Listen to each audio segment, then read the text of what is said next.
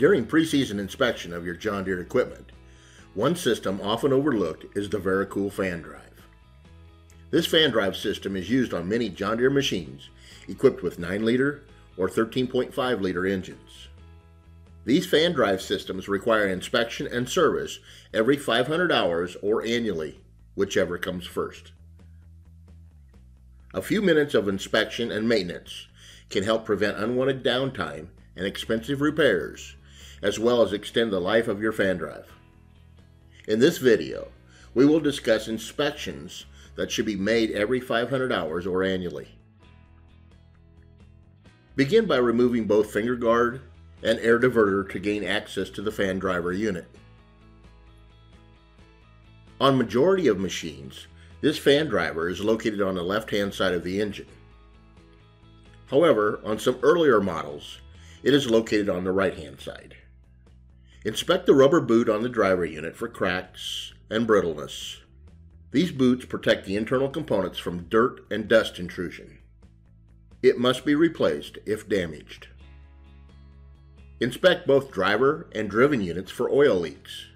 While it is normal to find a greasy film on boot, there should not be any oil dripping from driver or driven unit.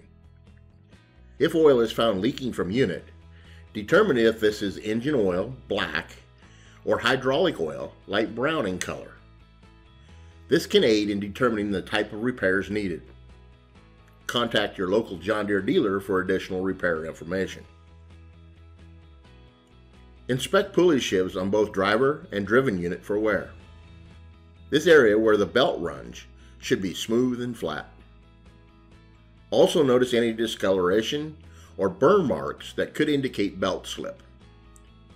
If grooves or unevenness can be felt in sheaves, they will need to be replaced. Also inspect the condition of the fan drive speed sensor and harness.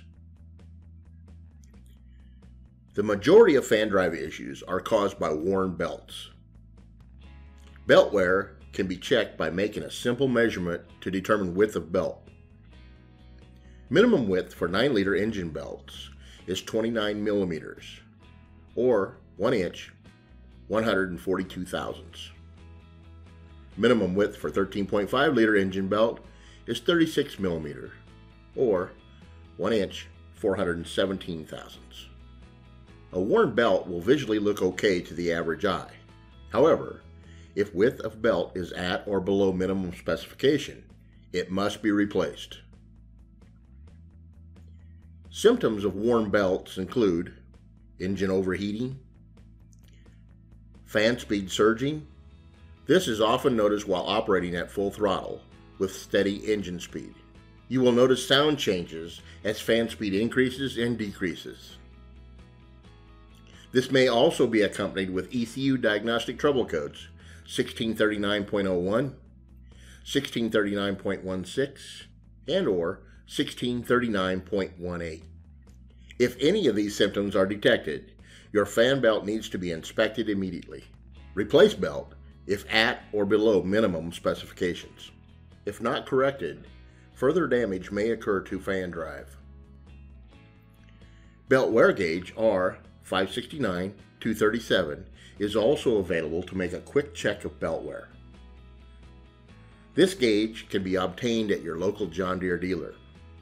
It consists of two profiles, one for 13.5 liter and a second for 9 liter engine belts. It provides a quick check as to the minimum width of your Vari-Cool fan drive belt. If profile of gauge will not fit over belt, it is acceptable to continue use.